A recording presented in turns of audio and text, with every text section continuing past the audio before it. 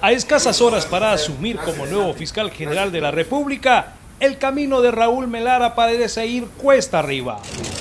Varios abogados del ISD presentaron un recurso de inconstitucionalidad en la Corte Suprema de Justicia, en la cual piden la suspensión del acto reclamado por considerar que su elección tiene varios vicios de ilegalidad y poca transparencia. Consideramos que el fiscal electo sí em, en apariencia o en elementos em, que han podido verificarse, eh, mantiene un vínculo material con un partido político.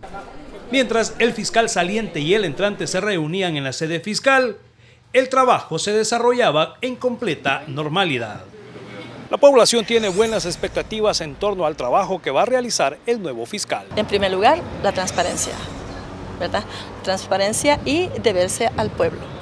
También la embajadora de los Estados Unidos, acreditada en nuestro país mediante su cuenta de Twitter, expresó, manifiesto mi profundo aprecio por el trabajo del fiscal general Meléndez, los fiscales auxiliares, investigadores y funcionarios en todo el país que siguen trabajando por la justicia.